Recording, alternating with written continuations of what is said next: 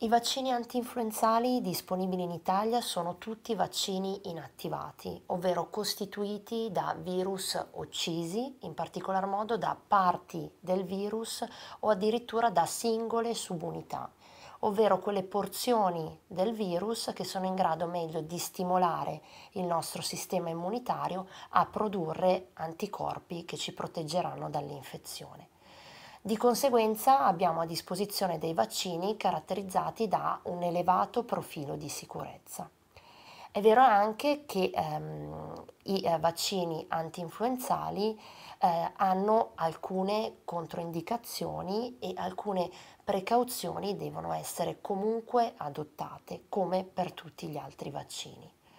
In particolar modo per il vaccino antinfluenzale è necessario eh, considerare che non può essere somministrato ai bambini al di sotto dei sei mesi di età. Questo perché non esistono studi clinici che ne dimostrino l'efficacia in questi mh, mm, bambini più, eh, più piccoli.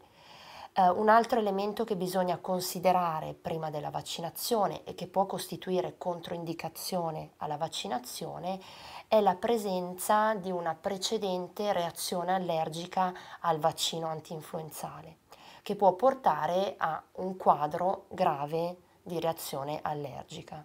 In questo caso abbiamo un'indicazione di controindicazione alla vaccinazione.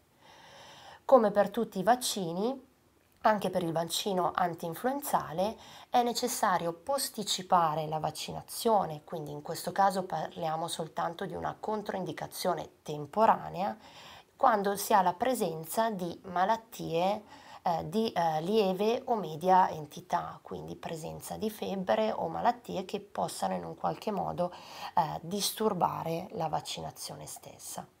Da un punto di vista di reazioni avverse alla, alla, vaccinazione si possono registrare delle reazioni nella maggior parte dei casi di tipo locale, quindi che eh, portano per esempio a dolore o a rossore a livello dell'area in cui viene effettuata l'iniezione del vaccino. In altri casi le reazioni possono essere di carattere sistemico. Questo significa la comparsa circa 6-12 ore dopo la vaccinazione di malessere o eh, febbricola che solitamente scompare nell'arco di eh, circa 12-24 ore.